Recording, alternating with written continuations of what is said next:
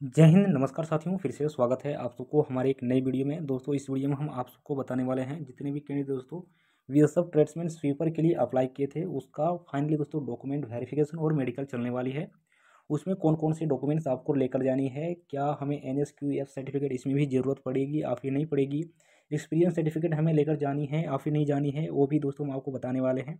और caste certificate दोस्तों, कौन सी हमें कास्ट सर्टिफिकेट लेकर जानी है, वो भी दोस्तों हम आपको इस वीडियो में सारा इन्फॉर्मेशन देने वाले हैं। जितने भी कैंडिडेट का दोस्तों आने वाले टाइम में आपका डॉक्यूमेंट वेरिफिकेशन चलने वाली है।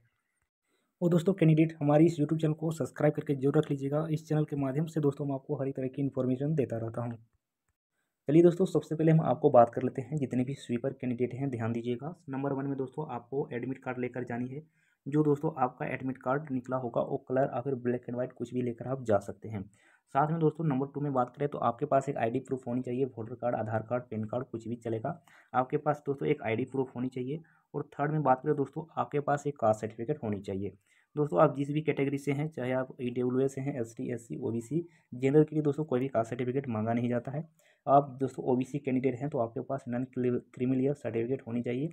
और भी दोस्तों, तीन साल से ज़्यादा पुराना अगर आपके सर्टिफिकेट है तो वो वैलिड नहीं होगा। तीन साल के अंदर है तो दोस्तों वैलिड होगा, वो चल जाएगा।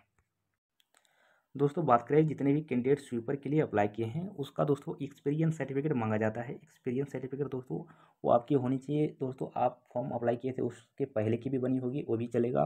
फ़िलहाल दोस्तों, आपने कहीं से और से भी बनवा लिए हैं, वो भी चलेगा।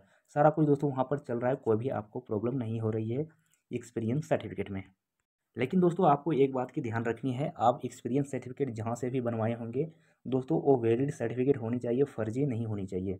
कि दोस्तों, जहाँ से भी आप बनवाए हैं, उस अगर जिस जगह से, जिस सेंटर से आपने एक्सपीरियंस सर्टिफिकेट को बनवाए हैं, बाद में दोस्तों डॉक्यूमेंट अगर दोस्तों बी की तरफ़ से कोई भी जाँच करवाया जाए, अगर वहाँ पर सारा कुछ दोस्तों, आपको रद्द किया जाएगा, बाद में दोस्तों, आपको प्रॉब्लम ही हो सकती है।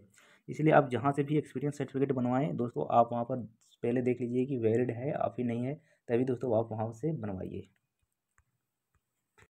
और दोस्तों, अंत में बता देते हैं, आपके पास टेंथ और ट्वेल्थ की दोस्तों ओरिजिनल मार्कशीट और पासिंग सर्टिफिकेट दोस्तों सारा कुछ होनी चाहिए। और प्रत्येक का दोस्तों आप दो दो जेरक्स कॉपी करवा लीजिएगा और दोस्तों प्रत्येक में आप सेल्फ अटेस्टेड आने दोस्तों खुद का सिग्नेचर और जिस दिन का आपका डॉक्यूमेंट वेरिफिकेशन होगा, उस दिन का दोस्तों आपको डेट वहाँ पर मेंशन करनी होगी। दोस्तों, आप यहाँ पर मेंशन नहीं कीजिएगा सेंटर में जाने के बाद आप आराम से मेंशन कर सकते हैं। और बाकी दोस्तों, आपको चार फोटोग्राफ लेकर जानी है। दोस्तों, हो सकता है कि आपका एक फोटोग्राफ यूज़ हो या फिर दो हो, लेकिन दोस्तों आपको चार लेकर जानी होगी।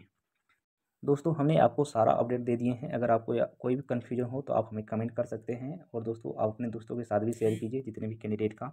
स्वीपेयर का दोस्तों, आने वाले टाइम में डॉक्यूमेंट वेरिफिकेशन होने वाली है। फिर से मिलते हैं दोस्तों नेक्स्ट वीडियो में। तब तक के लिए जय हिंद, जय भारत।